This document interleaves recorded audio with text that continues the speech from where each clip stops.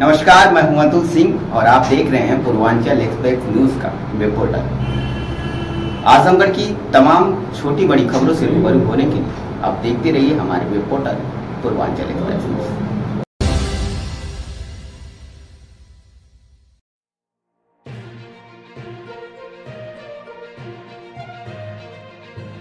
Hi tech होते हुए जमाने में भी लोग अंधविश्वास का दामन नहीं छोड़े ताज़ा मामला ज़िले के मुबारकपुर थाना क्षेत्र के अवाव गाँव का है जहाँ एक युवती की सर्पदंत से मौत हो गई।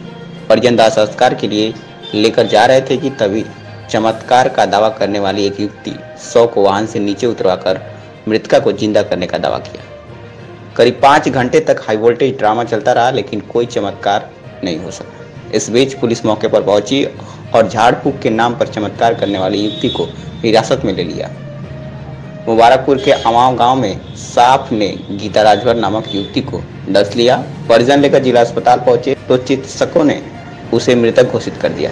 परिजन शव को लेकर घर पहुँचे और दाह संस्कार के लिए ले जा रहे थे। कि बाज़ार में एक युवती मिली और दावा किया कि वो मृतका को ज़िंदा कर सकती है। परिजन भी उसकी बात में आ गए। वह नसरुद्दीनपुर स्थित प्राथमिक विद्यालय में लड़की के शव को रखकर चारों तरफ़ गोला बनाया और घूम घूम कर मंत्रोपचार करने लगी, लेकिन पाँच से छः घंटे बीत जाने के बाद भी लड़की ज़िंदा नहीं हुई।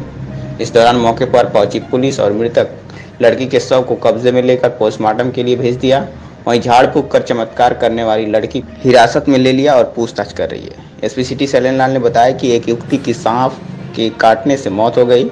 बगल के गाँव असोना की रहने वाली गोबरी व उसकी पुत्री के द्वारा लोगों को ये अंधविश्वास फैलाया गया कि वो मृत व्यक्ति को ज़िंदा कर देंगे। इस मामले में माँ और बेटी को औषधि व चमत्कारिक अधिनियम उन्नीस के तहत मुकदमा दर्ज कर गिरफ़्तार कर लिया गया। ग्राम अभाव थाना मुबारकपुर में एक 20 साल की युवती की मृत्यु सांप के काटने से हो गई थी। बगल के गाँव असोना के गोबरी और उसकी पुत्री द्वारा लोगों में ये अंधविश्वास फैलाया गया कि वह मृतक, मृतिका को ज़िंदा कर देंगे और उसका झाड़फूक का काम प्रारंभ कर दिया। पुलिस को यह सूचना लगने पर पुलिस के द्वारा दोनों की गिरफ्तारी करी गई है और औषधि और चमत्कारिक उपचार अधिनियम उन्नीस सौ चौवन के तहत मुकदमा दर्ज किया गया है। शीघ्र ही दोनों को न्यायालय के समक्ष प्रस्तुत किया जाएगा।